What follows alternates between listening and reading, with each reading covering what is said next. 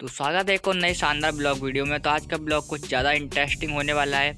अगर आप ग्रामीण एरिया से जुड़े हो तो आपको पता होगा कि किस प्रकार से जो है गाँव वगैरह में खेती होती है और कितना मुश्किल काम होता है। तो आज हम वहीं का ब्लॉग होने वाला है गाँव का।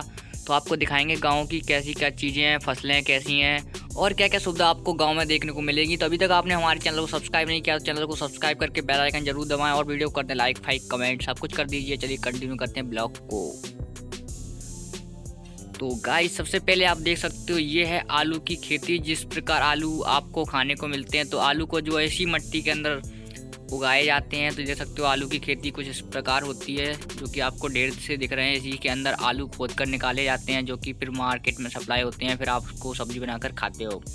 तो आगे चलते हैं, एक और फ़सल की ओर तो ये है एक और नई फ़सल।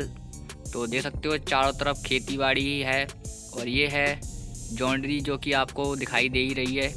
तो ये काफ़ी बड़े फ़सल होती है, देख सकते हो, काफ़ी ऊँची रहती है और इसे काटा जाता है और इसके बाद जो है इसकी चीज़ें हैं वो निकाली जाती हैं। तो देख सकते हो, अभी काफ़ी फ़सल जो है कट चुकी है और काफ़ी खड़ी हुई है। तो ये फ़सल कटी हुई, डली हुई है जो कि कटी। और जो सुविधा अब है गाँव में भी काफ़ी सुविधा हो गई है, जिससे जो है खेती बाड़ी करने में बहुत ज़्यादा आसानी होती है। तो पहले जो है आपको पता ही हल द्वारा खेती जोती जाती थी। अब जो है ट्रैक्टरों का निर्माण हो गया है तो ट्रैक्टर द्वारा जो है खेती बाड़ी हो जाती है। पहले जो जो भी काम होता था, वो प्योर हाथों एंड अपनी मेहनत के द्वारा होता था। तो अब जो है, मशीन द्वारा काम हो गया, जो कि काफ़ी बढ़िया है। तो ये जो फ़सल आप देख रहे हो, ये है धान की फ़सल। तो देख सकते हो, काफ़ी बढ़िया फ़सल आपको दिखाई दे रही है। शानदार खड़ी हुई है धान की फ़सल और ये खाली डला हुआ है खेत और देख सकते हो, पूरे तरफ़ खेती बाड़ी है, क्योंकि ये पूरा ग्रामीण एरिया है। और ग्रामीण एरिया पर जो है हरियाली बहुत ज़्यादा रहती है और पेड़ के नीचे छाए में बैठ के हवा का कुछ अलग ही मज़ा है। आपको कमेंट करके ज़रूर बताना है कि आप ग्रामीण एरिया से जुड़े हो कि नहीं।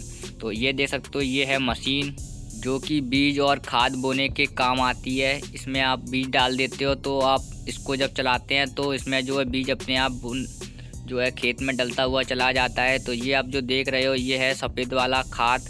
जो कि खेती में लगाया जाता है जिससे अस्सी फस, अच्छी फ़सल होती है और कोई भी नुकसान नहीं होता है। तो आप ये देख सकते हो खाद है सफ़ेद सफ़ेद ये शक्कर मत समझिएगा। तो ये आप देख रहे हो ये जो है खेत में यूज़ होता है तो ये इससे जो है अच्छी फ़सल होती है। तो देख सकते हो ये है ट्रैक्टर जो कि खेती बाड़ी में यूज़ किया जाता है। पहले जो है आपको पता ही होगा कि पहले जो है हाथों का यूज़ किया जाता था। तो देख सकते हो एक बात आपको ज़रूर मिलेगी ग्रामीण एरिया में जो है काफ़ी पक्की सड़क मिलेगी जो कि आपको अपने बाज़ार में देखने को नहीं मिलेगी। तो यह बहुत बढ़िया बात है क्योंकि ग्रामीण एरिया इतना इम्प्रूव हो रहा है जो कि अब बाज़ार भी शायद नहीं हो पा रहा है। तो आज के ब्लॉग यहीं तक। जब तक के लिए tata bye love you guys thanks for watching